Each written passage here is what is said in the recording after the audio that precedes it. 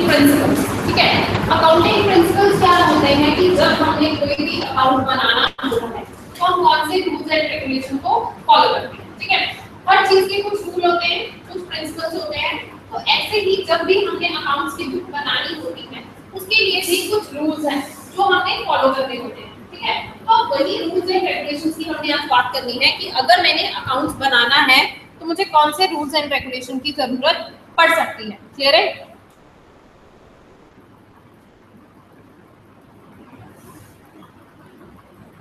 देखो, एक ना आपको टू मार्क्स में ये भी क्वेश्चन आ सकता है एक्सप्लेन जीएएपी क्या ठीक है? इसको क्या बोलते हैं? General accepted accounting principles mean देखो अकाउंट्स के या चीज़ों के केस में क्या होता है कि कई बार हार्ड एंड फास्ट हमारे पास रूल नहीं होता। प्रैक्टिस यूज़ कर रहे होते हैं, हम उसी को आगे रूल बना देते हैं। ठीक है? तो वही चीज़ है generally accepted accounting principle mean ज़्यादातर लोग जिस चीज़ को फॉलो करते हैं that is called general accepted accounting principle ठीक है? Principles of accounting are the general law or rule adopted or proposed as a guide to action, a settled ground on basis of conduct of practice. In simple language में क्या है? General account accepted accounting principles क्या है?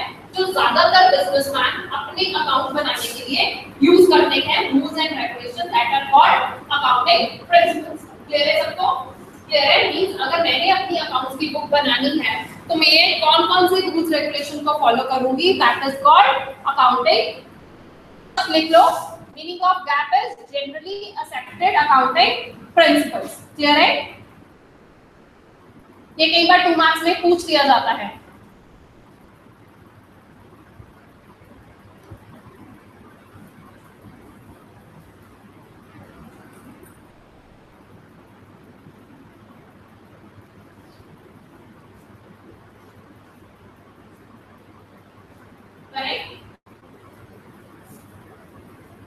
देखो जो हमारे accounting principle है, हम उसको दो पार्ट्स में डिवाइड कर सकते हैं, ठीक है एक है हमारे कॉन्सेप्ट्स दूसरी है हमारी कन्वेंशंस ठीक है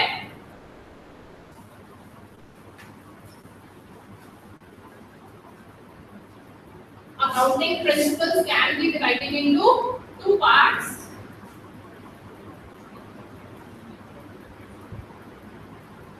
First is accounting concept.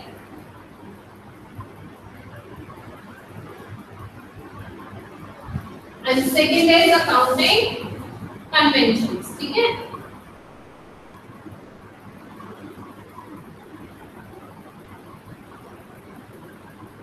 अब देखिए कन्वेंशंस क्या concept is basically a plan कोई काम हमने करना है तो क्या करना है? ठीक है? दैट इज़ कॉन्सेप्ट ठीक है? उस काम को कैसे करना है that is called convention clear है मींस मैंने कोई काम करना है मैंने जो बिज़नेस स्टार्ट करना है दैट इज़ कॉल्ड कॉन्सेप्ट कौन सा बिज़नेस स्टार्ट करना है कैसे बिज़नेस स्टार्ट करना है that is called convention so it is a plan and this is action of plan means मैंने उस प्लान को कैसे एक्टिवेट किया कैसे इंप्लीमेंट किया दैट इज़ कॉल्ड कन्वेंशन सबको कि कॉन्सेप्ट क्या होता है कन्वेंशन क्या होता है concept is just a plan कि मैं ये काम करना चाहती हूँ convention is how I can do that plan clear है नेक्स्ट अकाउंटिंग कॉन्सेप्ट क्या है अकाउंटिंग कॉन्सेप्ट का बेसिक assumption और fundamental proposition within which accounting operates अब ये क्या है कुछ assumptions है जब भी मैं कोई बिज़नेस स्टार्ट करती हूँ तो मैं कुछ हूँ assumption क्या होता है कई चीज़ों को मान के चलना कि ये चीज़ ऐसे ही होगी ये चीज़ ऐसे ही होगी क्लियर है These are generally accepted accounting rules based on which transactions are recorded and financial statements are prepared. इन्हीं assumptions को ध्यान में रखते हुए हम अपनी अकाउंटिंग के रिकॉर्ड बनाते हैं और स्टेटमेंट्स बनाते हैं क्लियर है next it is important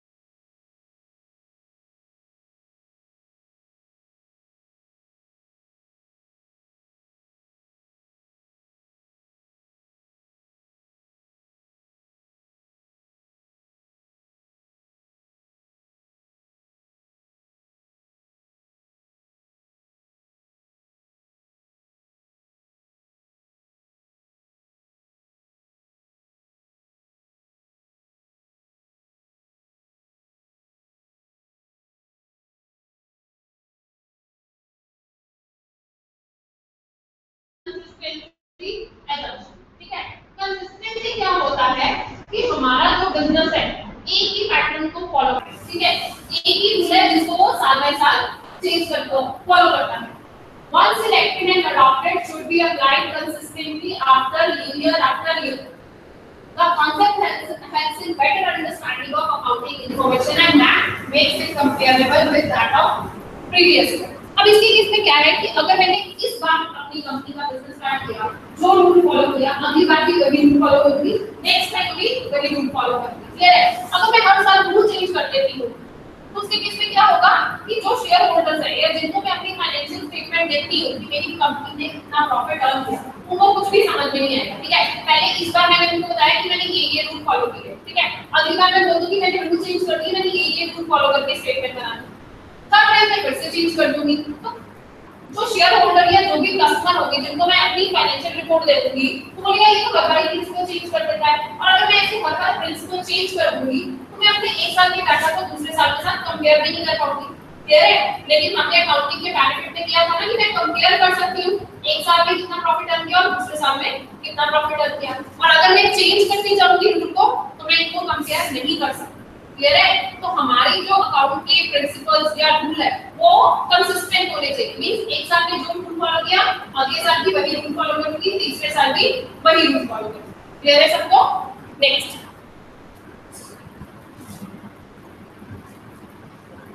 company should use the same accounting principles from year to year means जो 2000 में किया, वही 2001 में करना है, वही 2002 में करना है। क्लियर है? साल का साल उसी रूल को फॉलो करना है।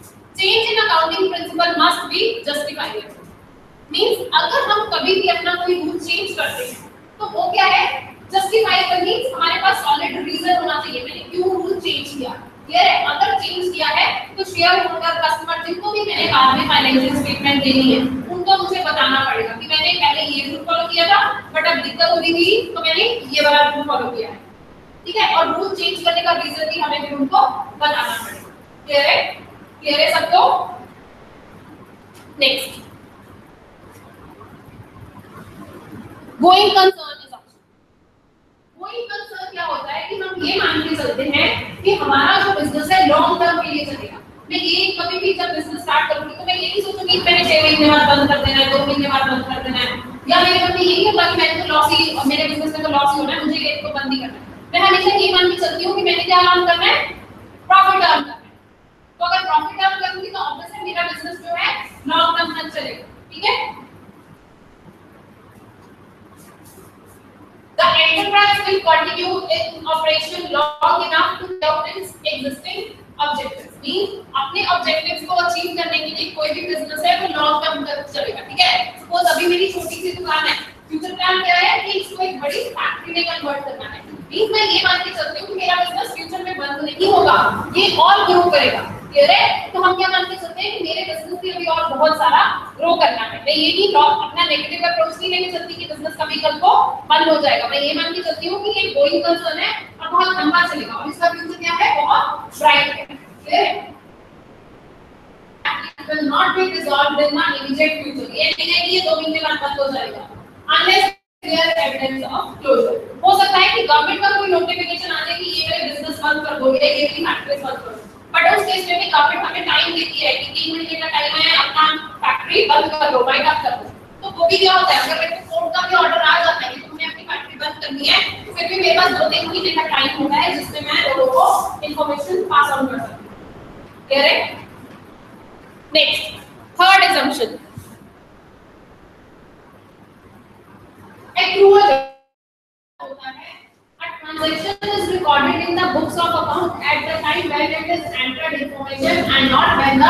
settlement takes place thus revenue is recognized when it is realized that is when sale is completed or services are rendered it is immaterial whether cash is received or not means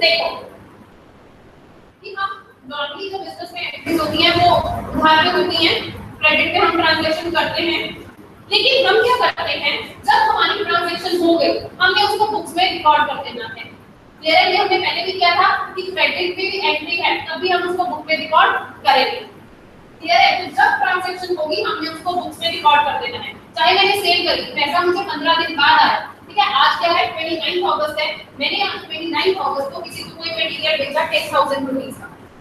मैं अपनी books में आज entry कर दूँगी कि 10000 rupees का material credit पे बेचा। ठीक है? जब 15 दिन बाद उसका कैश आ जाएगा तो मैं ये लिखूँगी cash received from supplier clear लेकिन एंट्री किस दिन कर दूँगी? जिस दिन मटेरियल सेल हुआ।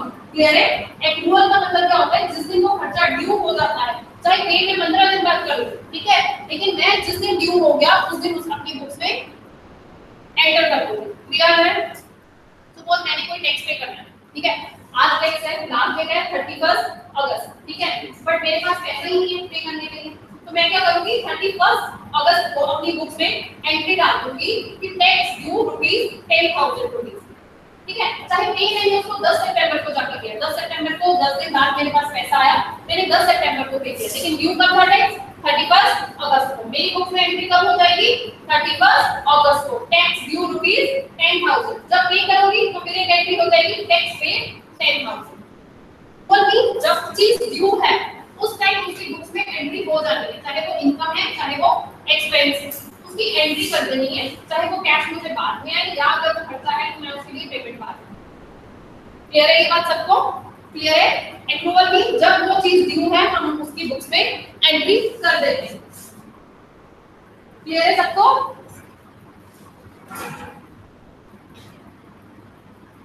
नेक्स्ट अकाउंटिंग कन्वेंशन कन्वेंशन क्या होती है? जैसे हमने किया था कि कोई भी प्लान हम बनाते हैं, उस प्लान को कैसे एक्टिवेट करना है, कैसे यूज़ करना है that is called accounting convention ठीक है? Accounting conventions are the outcome of accounting practices or principles being followed by enterprise over a period of time conventions may undergo a change with time to bring about improvement in quality of accounting information, ठीक है? अब इसके बीच में क्या है कि accounting conventions को हम टाइम टू टाइम चेंज कर सकते हैं क्लियर है? अब अपने बिज़नेस की बेटरमेंट के लिए हम अपने क्या है कोर्स ऑफ़ एक्शन को चेंज कर सकते हैं। आज ये काम पहले नहीं किया, इस काम को पहले करेंगे। आज इसकी पेमेंट पहले नहीं करनी, आज इसकी पेमेंट पहले करेंगे। क्लियर है? तो ऐसे करके अकाउंटिंग कन्वेंशन को हम अपने accordingly time to time change कर सकते हैं। ठीक है? अब कौन सी होती है अकाउंटिंग कन्वेंशंस बहुत सारी फ़र्स्ट है अकाउंटिंग एंटिटी और बिज़नेस एंटिटी ठीक है? सेकंड है मनी मेज़रमेंट थर्ड है अकाउंटिंग पीरियड प्रिंसिपल इसका चार्ट हम ऐसे भी बना सकते हैं। ठीक है? अगर पेपर में ये क्वेश्चन आ जाता है तो इसको चार्ट की फॉर्म में बनाना। ठीक है? अगर कोई भी चीज़ को आप ऐसे बनाते हो तो आपको मार्क्स ज़्यादा अच्छे मिलते हैं accounting principle can be divided into two part accounting concepts and convention concept कितने हैं? सिर्फ़ तीन going concern consistency and actual लेकिन कन्वेंशन कितनी है? बहुत सारी है, देखो।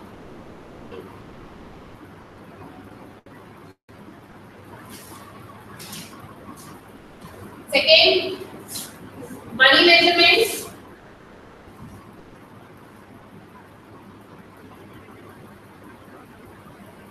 Third is accounting period.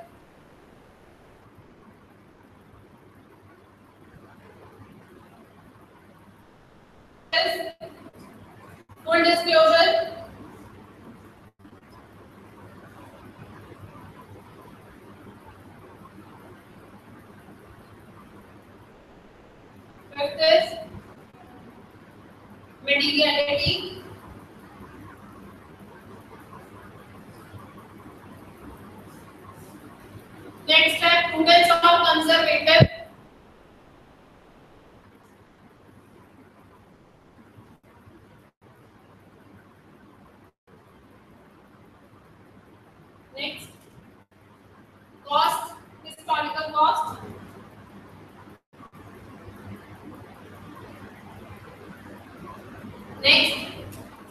Principle ठीक है?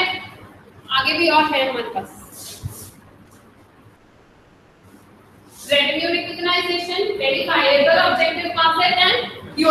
ठीक है? अब एक एक करके हम इन प्रिंसिपल्स को करते हैं। फ़र्स्ट है अकाउंटिंग एंटिटी और बिज़नेस एंटिटी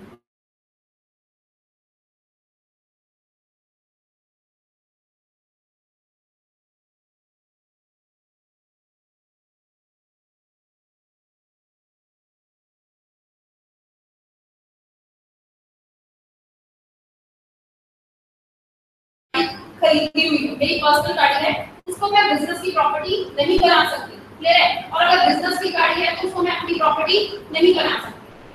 क्लियर है? तो जो ऑनर है और जो बिज़नेस है दोनों अलग अलग करते हैं। क्लियर है? दोनों को हम इकट्ठा नहीं कर सकते। क्यों?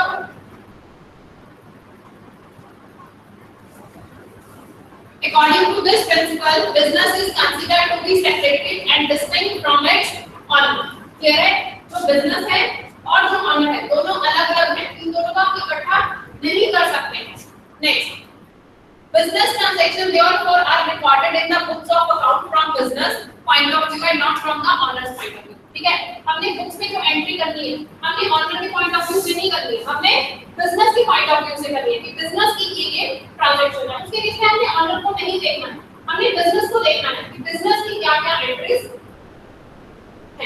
हैं Honor being regarded as separate and distinct from business, they are considered creditors of the business to the extent of their capital. Means owner जो है वो capital लगाता है तो उसका पैसा है उसके लिए उसको हम क्या करते हैं एज ए लाइबिलिटी शो करते हैं कि ये ऑनर का पैसा है बिज़नेस में और इसको हमने कभी ना कभी वापस करना है क्लियर है तो उसके बीच में हम ऑनर को प्रॉफिट देते हैं लेकिन हम उसकी बिज़नेस में कोई एंट्री नहीं करते क्लियर है जो उसका खुद की ट्रांजैक्शन होती है वो अगर तो अपने घर के लिए राशन लेके आ रहा है आटा दाल चावल लेके आ रहा है तो उसको हम बिज़नेस का खर्चा नहीं बता सकते वो उसका पर्सनल खर्चा है क्लियर है तो ऐसे ही तो बिज़नेस के खुद के खर्चे हैं उसको हम बिज़नेस का खर्चा नहीं बता सकते क्लियर है सबको नेक्स्ट मनी मेज़रमेंट का ये चीज़ हम पहले भी कर चुके हैं मींस वो ट्रांजैक्शन जिसमें पैसा इन्वॉल्व होता है ठीक है उसी को हम बुक्स में रिकॉर्ड करते हैं ऐसी ट्रांजैक्शन जिसमें पैसा मनी कोई भी चीज़ इन्वॉल्व नहीं होती है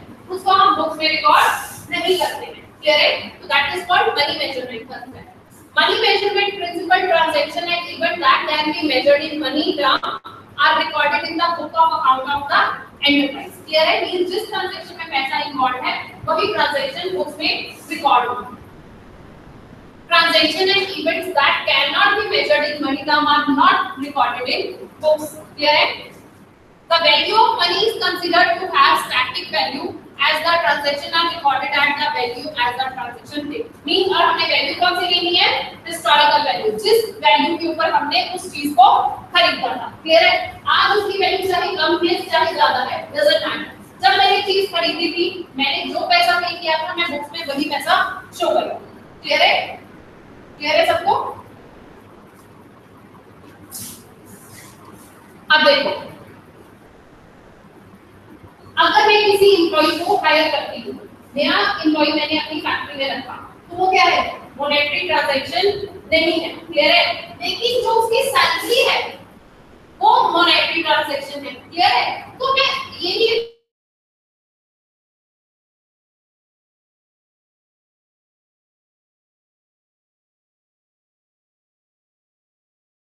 तो hiring an employee is not a monetary transaction but paying an employee means उसको salary करना is a monetary है। दोनों में difference?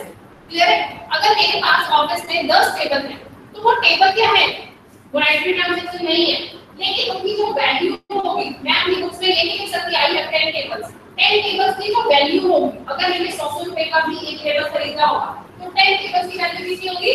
1000 रुपीस तो मैं बुक्स में क्या लिखूँगी? 10 tables is equal to 1000 rupees clear है तो बुक्स में वो चीज़ आएगी जिसको हम मनी ट्रांजैक्शन में कन्वर्ट कर सकते हैं। क्लियर है? नेक्स्ट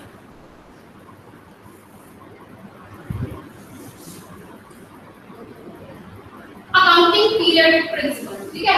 अब ये वही है जो हमने पहले भी पॉइंट किया था कि हमारा बिज़नेस क्या है? ऐसा नहीं है कि मैंने 10 साल बिज़नेस चला दिया और मैं प्रॉफिट नहीं कैलकुलेट करूँगी हमारा बिज़नेस एक पर्टिकुलर टाइम के बाद अकाउंटिंग ट्रांजैक्शन का एनालिसिस करता है रिपोर्ट बनाता है। तो नॉर्मली जो बिज़नेस में एक अकाउंटिंग पीरियड लेके चलते हैं, हम वो लेके चलते हैं 12 मंथ्स का। ठीक है? तो वो 12 मंथ्स कौन कौन से हो सकते हैं। दो तरह के हमने पीरियड काउंट किए थे ना। कौन से होते हैं?